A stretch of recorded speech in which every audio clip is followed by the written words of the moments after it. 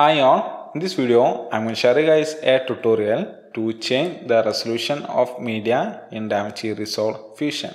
So to change the resolution of media, we are going to use resize node. So on your DaVinci Fusion, select the media that you want to change the resolution of and add resize node by searching for resize node. And from the inspector of this resize node, change the height and width to change the resolution. And while changing resolution if you want to keep the aspect ratio of the media just tick keep frame aspect. And if you right click this height or width and choose select frame format you can find some default format that you can select. And a thing to notice that if the media you are changing the resolution of is the first node of your fusion composition, then your entire fusion composition resolution will also change. So that's it. That's all about this simple video guys. I hope you guys find this video useful. If you do so, hit the like button and don't forget to subscribe.